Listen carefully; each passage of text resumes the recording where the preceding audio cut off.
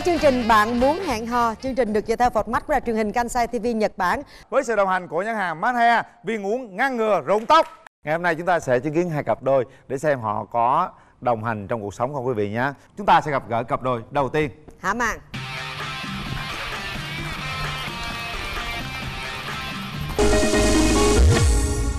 tầm một hai anh một mét sáu tám trở lên là được rồi Rồi, bảy thì càng tốt Đủ luôn, Đủ không em? dễ ẹt. Còn gì nữa không? Gì khó hơn đi. Cái gì nữa không? Mời bạn Nam.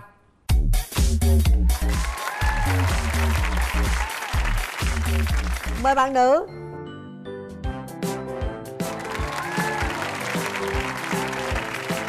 Rồi, bây giờ chúng ta giới thiệu về mình. Em tên là Ngô Hoàng Long, Ờ, em à, năm nay 28 tuổi, Ờ, quê quán tại Hà Nội. Hiện tại thì em đang ở Sài Gòn được 4 năm rồi. Công việc của em hiện tại thì đang là quản lý một trung tâm Anh ngữ. Mời bạn nữ giới thiệu. Dạ em xin chào quý vị khán giả em xin chào chị Cát Tường Anh Quyền Linh. Em Chào tên bạn. là Nguyễn Hoàng Sang năm nay em 24 tuổi. À, em sinh ra ở Đồng Nai. Hiện tại thì à, em đang có hai cửa hàng thời trang tại tỉnh Bình Phước và em đang à, làm việc và kinh doanh tại đó. À, điểm mạnh, điểm yếu của em là gì? À dạ em á thì à, tính của em thì cũng rất là dễ gần tại vì công việc của em kinh doanh đó chị. Nên nhiều khi á mình cũng phải à, nhẹ, nhẹ, nhàng với khách hàng. Ủa mà sao vậy mà em vẫn chưa có bạn trai? trong cuộc sống mình có những lúc mình không nói trước được chị à có những lúc á, mình cứ ngỡ rằng mình yêu như vậy là đã là đúng rồi. Mình cứ lao và mình yêu thôi. Nhưng mà thật sự nó không đúng, tự làm tổn thương bản thân mình. Rồi cũng có những lúc á, mình cứ tưởng chừng như mình đã chọn thời điểm và đúng người rồi. Nhưng mà lại cũng không phải như thế. Người ta lại là người ờ, đến rồi cho mình một tia sáng, một tia hy vọng, rồi người ta cũng chính là người dập tắt nó đi. Ai mà ác dữ vậy Trời ơi, cái gì mới 24 tuổi mà nói về tình yêu sao mà nó... 24. Ai mà đem hy vọng tới người ta thì dập tắt hy vọng của người ta. Bạn trải qua mấy mối tình rồi. Dạ, em em có một mối tình chính thức thôi. Còn không chính thức thì nhiều lắm hả? Dạ không có. Thì ờ, hiện, ờ, em thì có cũng là chỉ là ờ, làm quen tìm hiểu thôi chứ không có dẫn đến tình yêu. Thôi Đúng rồi. bỏ qua cái chuyện Bỏ cũ đi nha, bây giờ đi. chuyện, mới ơi. nha. Bây giờ bạn gái nè, muốn Ừ. tìm một người bạn trai như thế nào? Em thì em thích á, một bạn nam ví dụ như là làm công việc kinh doanh còn nếu không kinh doanh á, thì công việc tương đối ổn định cái ngoại hình bên ngoài thì phải đậm đà một chút đừng có mỏng manh quá Đậm đà là sao em? Trời đây quá đậm luôn. Đậm là da màu đậm á hả? à không phải chị tức là nhìn cứng cỏi chút á chị Chắc Dạ, chắn chắc đúng chắn không? dạ đúng rồi À, à. Đây hơi bị Rồi. ngon à. Lát lát chị qua chị kiểm tra cho Rồi sao nữa? Có ờ, cao lớn à tầm một hai anh một mét sáu tám trở lên là được rồi Rồi. bảy thì chuẩn. càng tốt Đủ luôn. Đủ không em? Dễ ẹt. Còn gì nữa không? Gì khó hơn đi. Cái gì nữa không? Có yêu cầu khó hơn đó.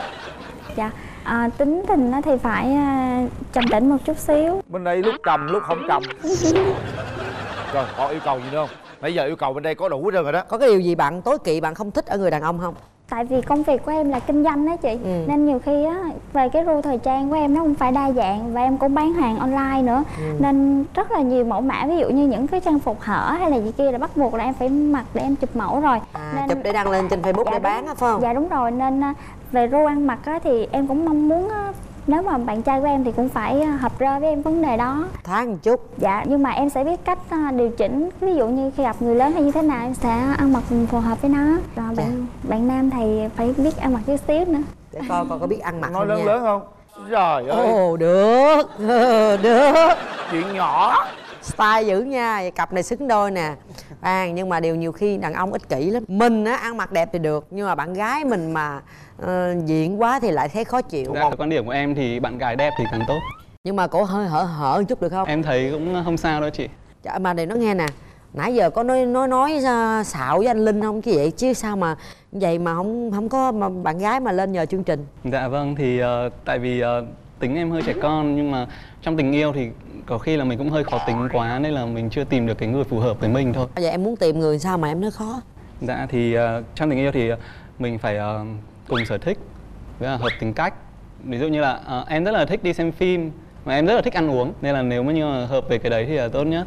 Sao biết nói chuyện nó dễ Tưởng yêu cầu gì thích xem phim với ăn tại uống vì ai cũng thích tại vì nhiều khi ờ, ờ, có bạn nữ thì ví dụ như là giữ dáng quá hay là sao thì mình lại lười ăn.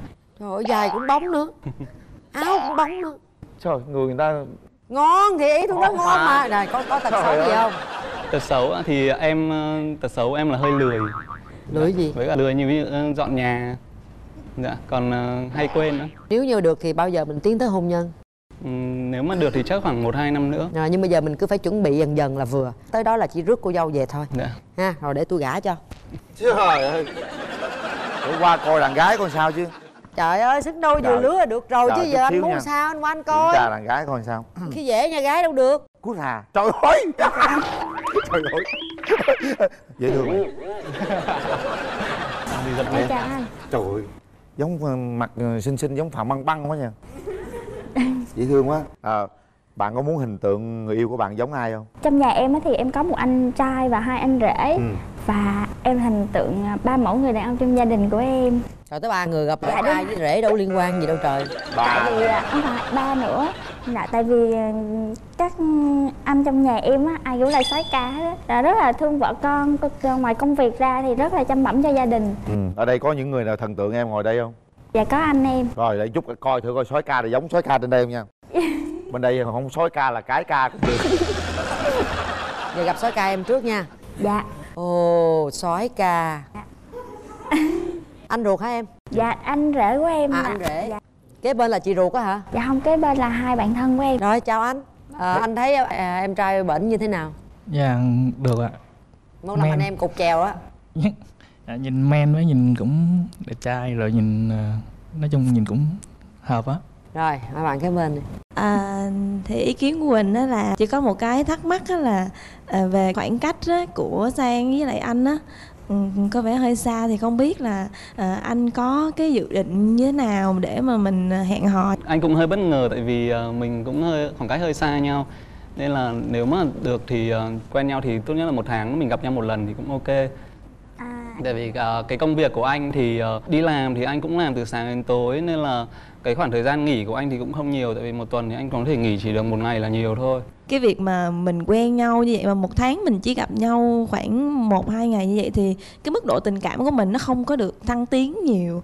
Nên là Ờ, tại vì bây em giờ nghĩ cái cái vấn đề công nghệ này- nó phát triển rồi mà em. Nếu mà mình không gặp nhau thì mình có thể FaceTime mà được không? À, sang sang Sang thấy sao? dạ tại vì khoảng cách đó thì em có thể giúp giúp anh hỗ trợ được. Tại vì à, một tháng em có thể à, em lên lấy hàng 4 lần. Ồ. Tôi sẽ đứng về bạn phía nam có đi với ai không? Dạ em đi với ờ, mẹ em và chị họ em. Ồ có mẹ nữa hả? Có chị họ nữa. Rồi cho gặp mẹ Dạ, chào cô. Chào à, Quyền Linh và chào chị Cát Tường. cô cảm nhận về à, cô gái này như thế nào ạ cô Theo à, sự nhìn nhận bên ngoài của tôi thì tôi thấy cô ấy rất là dễ thương. Còn về vấn đề tình cảm của hai bạn thì à, thì đấy là tùy đó ạ. rồi dạ, tùy hai đứa ha em có thể à, chào hỏi bác à, vài câu Dạ, à, lời đầu tiên thì con cũng gửi lời đến sức khỏe đến cô và gia đình. Ra lời nhận xét của cô thì cô đã khen con dễ thương, rất là cảm ơn cô. Cảm ơn. cảm ơn cô rồi chúng ta sẽ có cơ hội hai phút thôi trò chuyện thật nhanh cố gắng thuyết phục bắt đầu Dạ, em chào anh ạ. Ờ, trước tiên thì anh có một món quà tặng cho em hy vọng là khi mà nhìn thấy ờ, con gấu bông này thì em sẽ luôn nhớ tới anh Dạ, em cảm ơn anh rất nhiều ạ. Sau cái cuộc trò chuyện và trao đổi nãy giờ á, anh có cảm nhận gì về em không? Ờ, anh cảm nhận thì ờ, anh thấy em đúng là rất là dễ thương ờ, và em rất là giỏi. Anh ạ. ừ. Cảm ơn anh. ừ. tại vì ờ, với 24 tuổi mà em có hai cái cửa hàng như vậy rất là giỏi rồi ừ. anh cũng chúc em là sẽ có thêm cửa hàng thứ ba ở thành phố Hồ Chí Minh nha Dạ, em cảm ơn anh. nếu mà nếu mà em nói là một tháng mình lên được à, em lên Sài Gòn được 4 ngày á thì ờ, ờ, ờ, không biết là những cái ngày đấy thì ờ, mình gặp nhau thì vào buổi tối được không tại vì anh ban ngày anh đi làm á còn nếu mà em vào được những cái ngày mà anh nghỉ được thì anh mới có thể gặp em được vào ban ngày á thì không biết cái đấy thì mình có cảm thấy là khó khăn hay không Ừm, dạ về thời gian thì à, buổi tối thì cũng được chứ không có gì hết tại có những lúc thì em đi lấy hàng về hơi bị muộn khoảng bảy tám giờ vậy đó mới xong. Nên chỉ sợ hơi muộn một tí thôi. Ok nhưng thì mà em với em chỉ cần mình có gặp là được. Ờ, anh hỏi em về một chút về sở thích không biết là mình có thích cái chỗ nào mà sôi nổi không những cuộc hẹn hò đối với em thì cũng đơn, đơn giản thôi em chỉ chỉ thích những quán ngoài đường thôi. Dạ nó rất là thoải mái mà mình được sống với mình thôi. Mỗi người sẽ có một câu gì đó thật là tình cảm nào. Khi gặp anh rồi thì em cũng thấy rất là có sự gì đó gọi là à, dễ gần gũi với nhau. Anh thì ờ, trước khi mà anh nhị- gặp em thì anh cũng hơi ờ, hơi băn khoăn tại vì ờ, anh thì cũng ờ, có thể là quan trọng bạn gái có uh, gu ăn mặc một chút xíu mà lại gặp đúng em là người thích thời trang. Và uh, nhìn em rất là dễ thương nữa thì anh cũng uh, cảm thấy rất là hợp. Với em thì cái nhìn đầu tiên rất là quan trọng. Rồi đấy bây giờ chúng ta sẽ biết được cái nhìn đầu tiên có thích hay không. Rồi đây đặt tay vào nút bấm đi bạn. Trò chuyện ít phút cũng cũng có được những cái cảm nhận của riêng mình rồi nha. Và Nhắm bây giờ giống như lại. lúc nãy chúng tôi đã chia sẻ bạn phải suy nghĩ thật kỹ bấm nút là chúng ta quyết định đến với tình yêu. Không bấm không vấn đề gì cả. Một hai ba.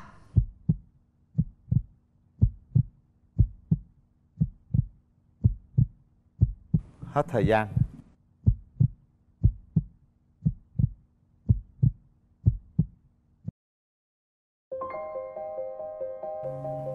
rồi mời em. Là sao nhỉ? Tại sao em không bấm? Cái chuyện yêu xa thì với em thì nó cũng tác động rất là nhiều. Tại vì ờ, tại vì mình không gặp được nhau nhiều thì cũng rất là khó. Ờ, em với em thì vậy thôi. Chứ còn nếu bạn em xin lỗi em tại vì em rất là dễ thương.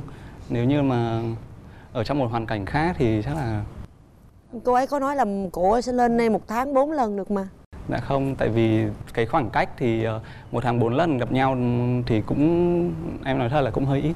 À. Nhưng mà em thấy lúc nãy anh nói là không quan trọng anh có thể cố gắng mà. Thay vì lúc đầu anh đừng nói vậy. Sorry em nhiều. À, tôi nghĩ rằng bạn trai đã bỏ qua một cơ hội rất lớn. Bạn gái rất là dễ thương giỏi giang và hiểu được tâm lý của người đối diện luôn. Nhưng không sao đó là quyền quyết định các bạn à, mong rằng chúng ta sẽ có nhiều cơ hội để tìm cho một đối tượng nào đó à, thích hợp hơn. Chúc hai bạn thành công trong cuộc sống nha. Cảm ơn anh nhiều. Cảm ơn chị Cát Tường.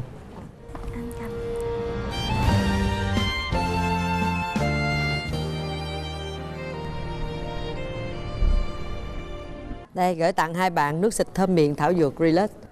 Không cứ giữ làm Mình cứ giữ làm kỷ niệm thôi, có sao đâu em. Không làm, thôi, không sao cả. có sao đâu. Cứ giữ làm kỷ niệm. Nó là một kỷ niệm cũng rất đẹp đấy chúc hai bạn là sẽ sớm tìm được một nửa của mình. Biết đâu đó chúng ta sẽ làm bạn với tôi chắc nhau. chắn rằng nha sau chương trình này phát sóng bạn gái sẽ nhận được cả ngàn lời cầu hôn của chương trình. Từ đó trở lên bạn trai cũng vậy. Ha cố gắng là cuộc sống. Dạ, chúc mừng các bạn.